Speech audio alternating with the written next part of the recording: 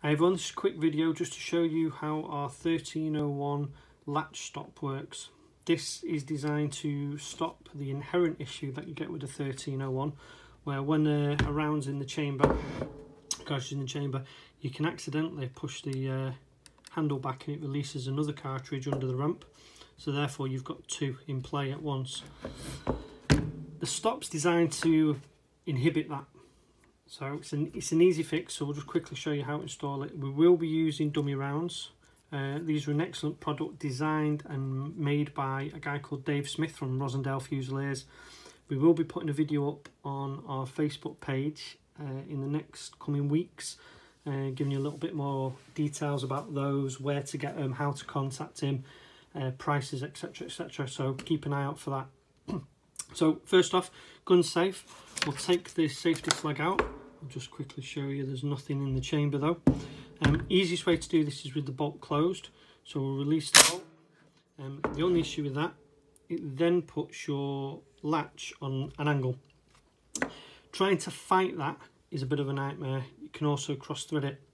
So what we do, press the button in the corner, that just releases it nice and flat. So you're working in that, that motion. All you need is a T10 Torx. So one's not provided, but most people have them lying around. When you're ready to install, you insert your Torx. And you just rotate it anti-clockwise.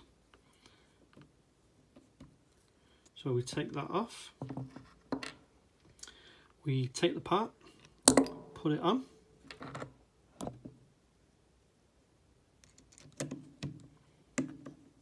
And we tighten that back up. Now with these being plastic parts, original, um, from factory, you can't over tighten it. Well you can, but just got to be careful not to. So just nip it up. Careful you don't strip the threads. Now the part is designed to move, so it will move. Reason being, as the latch moves, it lifts up and down, so it needs that flex. So it's designed to move with it. So when you get it and you're installing it and you think it's not tight, don't worry, that's how it's supposed to be. So all we'll do show you how it works. So drop your dummy round in, release it, turn it over. As you can see, my port's been opened up. That was done and welded on the uh, the ramp. That was done by Andy Haynes at UK Custom Guns. Uh, great bit of work. He's uh, can recommend him for doing stuff. So the idea now is we've got one in the chamber. So conventionally, you'd press the button and it'd release the cartridge into the uh, onto the under the ramp. With the button, now with the latch stop there, that inhibits it happening. So what we do, you pull your trigger, release the round, loads another one in. So you can see that's not going to release.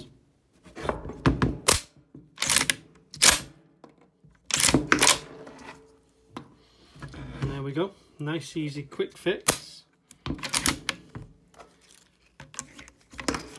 Just by adding this little part here. Takes 30 seconds. All right, cheers.